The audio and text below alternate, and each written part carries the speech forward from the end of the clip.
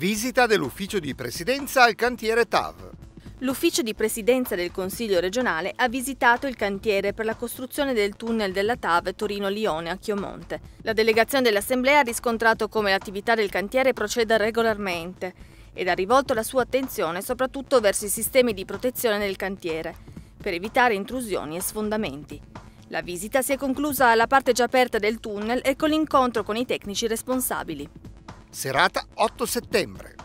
Sala gremita al Cinema Massimo di Torino per la proiezione del film Tutti a casa di Luigi Comencini con Alberto Sordi.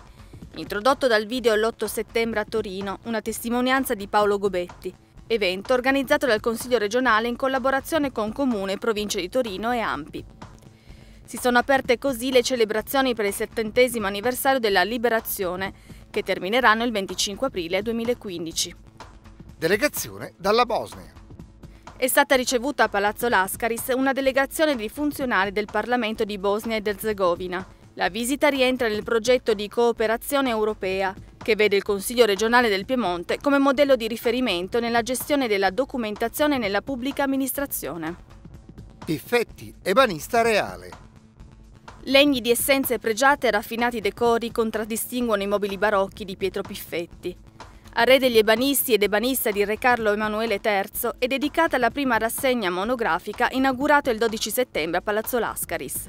Qui sono presenti un tabernacolo proveniente da Benevagenna e una coppia di stipi intarsiati in avorio.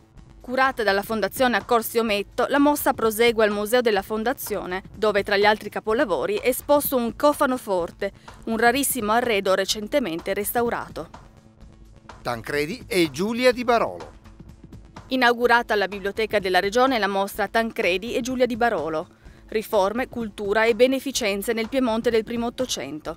La rassegna visibile fino al 15 novembre espone documenti, fotografie, oggetti, medaglie e pubblicazioni che testimoniano l'impegno culturale e sociale del marchese Carlo Tancredi Falletti di Barolo nel 175 anniversario della sua morte.